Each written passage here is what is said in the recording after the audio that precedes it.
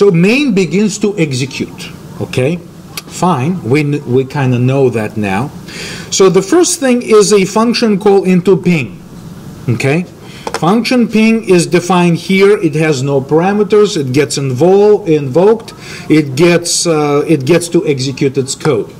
Um, now, eventually, it's going to call pong, and uh, vice versa. So this can be a little bit of a problem that functions call each other, but uh, this is an endless process, and we don't want our program to behave like a runaway train we don't want our program to essentially lose control over these calls.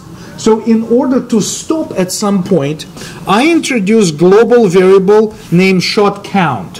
How many shots do you want? Like how many ping pongs you want to have in a single session? And I initialized it uh, to um, uh, apparently I initialize it uh, with zero value say, okay, this value will be counting shots, and I have a hard-coded value of 6, and say, when you play 6 shots, and then if, uh, if the shot count is greater than uh, 6 shots, then return. And I use this if statement that says, uh, just like, look at the number of shots um, in both of these functions, and say, as soon as you reach that threshold, 6, stop okay? Just return. Don't do anything else. Just keep returning. And so when I do this, uh, uh, as long as the shot count is not uh, not greater than six, the return statement will not execute. Instead, I go to the next line, and both ping and pong are like mirror image of each other, right? The only difference is that they call each other. Ping calls pong, and pong calls ping. Everything else is exactly the same. Uh, they do the same thing. right? So, uh, uh, uh, so um, the next statement in, in each function is that I increment the, the, the shot count. Plus plus means add one.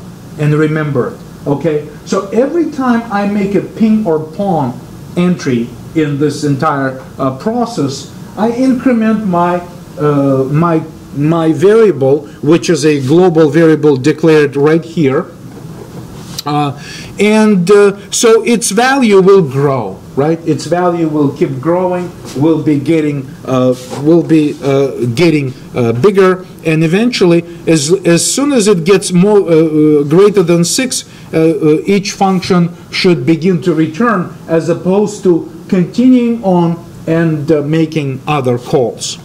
So. Um, that's pretty much the arrangement of these functions. And uh, when you have this, uh, the series of calls like this, we say that these are recursive calls because when ping calls another function pong, pong actually may call ping again, and therefore on the stack, what's going to happen is this, right?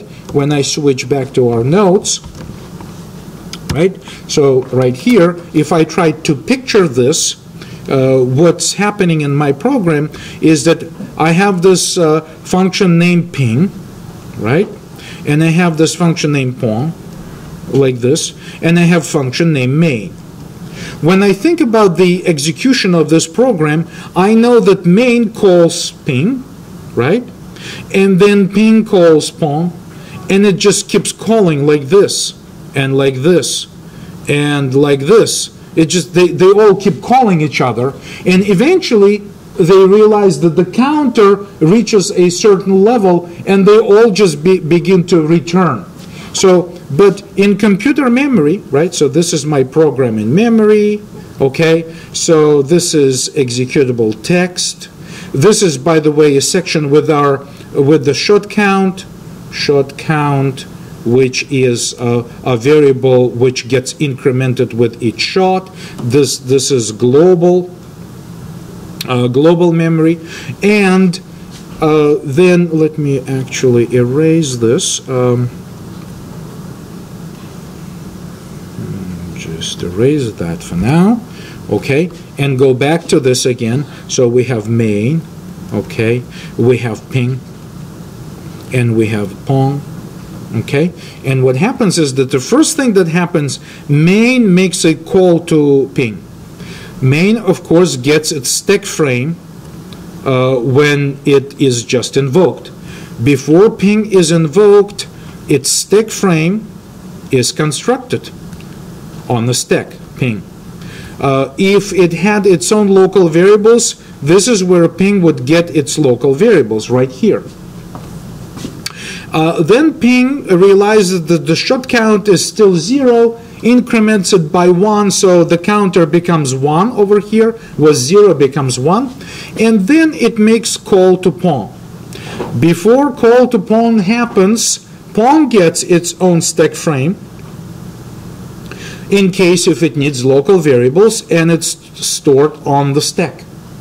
And then it looks up this counter, which is 1, which is not greater than 6, which was the condition in, in that code. And it keeps going, right? So it then continues to call ping. And what it does, before ping is invoked, again, it gets its own stack frame. So each function call right? Ping again gets on the stack. Uh, and uh, it allocates a completely separate set of local variables. And now ping, as a result of this ongoing activity of making function calls, ping and pong will get, because they, they still uh, keep going, and they will get multiple stack frames on the stack.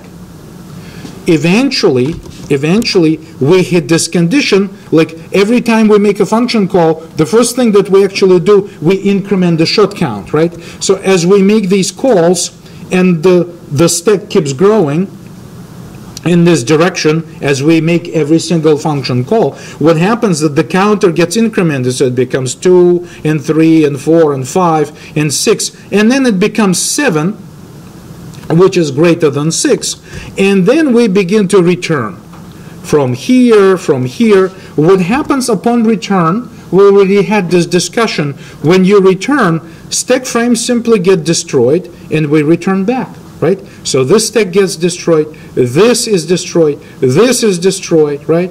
This gets destroyed and this gets destroyed. And eventually we return, we return from all of these function calls back to the main function. And we're going to uh, print game over and uh, basically return out of main. And of course, as we return out of main, this is gone, right? So we're actually completely done and we return. And so I just want you to realize something interesting with respect to, to, to this early version of our program that when I run it, right? So when I go back to, say, debug and uh, start and continue, you see that our functions are, are calling themselves repeatedly. And it's interesting that without even having a, any kind of loop structure in our program, simply using call and return mechanism, which is, which is very closely involved with functions, of course, we can have a repetition, right? So call and return controlled by some condition creates an opportunity for us to make uh, uh, you know something repeat as a, as part of our uh, program execution. All right, so this is uh, kind of an interesting example, and I think we will revisit it again. I am not expecting you to completely grasp every single concept here, but I would like to get an idea that things like this are possible, okay? with uh, with uh, with functions arranged like this. Now, I would like to uh, cut this uh, and paste it on top of uh, this. Just rearrange this program a little bit, and then uh, ask myself, what if I decided to keep pong on top of ping? and if I say uh, build again. Oh, I'm still running, so let me exit out of this, right?